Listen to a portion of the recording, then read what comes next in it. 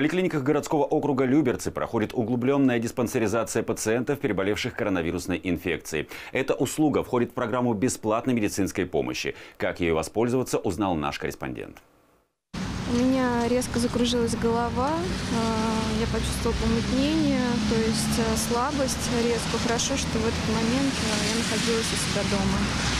Когда на следующий день поднялась температура, а потом через сутки пропало обоняние, сомнений не осталось. Это COVID-19. На тот момент вся семья Татьяны Нестеровой уже была заражена коронавирусной инфекцией. Несмотря на сильный иммунитет, избежать коварной болезни девушке не удалось.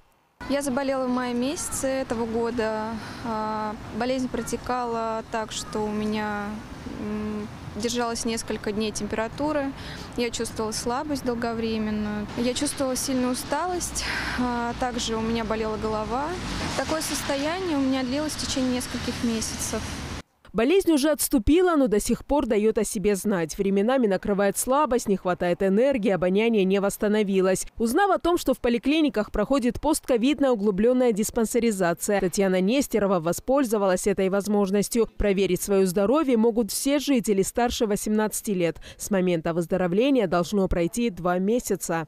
Это в дополнение к общей диспансеризации. Включает в себя это сатурацию, насыщение крови кислородом. Это спирометрия для всех. Это шестиминутный тест ходьбы, флюорография или рентген органов грудной клетки в течение года, если не делался. И общий анализ крови и биохимический анализ крови более расширенный, чем при обычной диспансеризации. Ковид может оставить после себя неприятный отпечаток. Углубленная диспансеризация поможет вовремя выявить обострение различных хронических болезней и особенно актуально для тех, кто уже ими страдает. Обследование можно пройти во всех поликлинических отделениях Люберецкой областной больницы. Программа стартовала с 1 июля текущего года. За это время около полутора тысяч жителей округа воспользовались новой услугой. Записаться на диспансеризацию можно через колл-центр в самой поликлинике или через портал госуслуги. Луиза Игиазарян, Денис Заугольников, телеканал ЛРТ.